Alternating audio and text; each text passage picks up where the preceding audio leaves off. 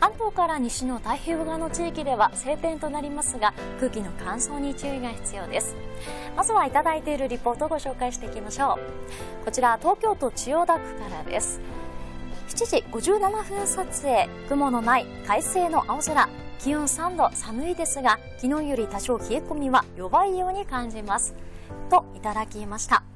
ちらしっかりと晴れて青空広がっていますね。今日遠くの方まで景色山々などもしっかりと見ることができるかと思います。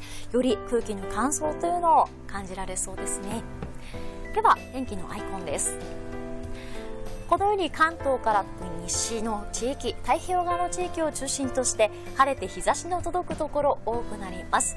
日中はより乾燥が進みます。今日は平均風速でも5メートルから10メートルといったところがありますので空気の乾燥そして風の強さもあり火の元など注意が必要ですね。火の取り扱い気をつけていただきたいです。それでは乾燥指数見ていきましょう。ちらです。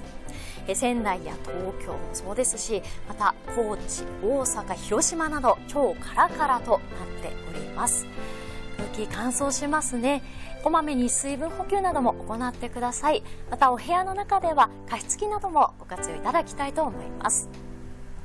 最新のお天気乾燥の情報などはウェザーニュースのアプリから確認することができます。ぜひご活用ください。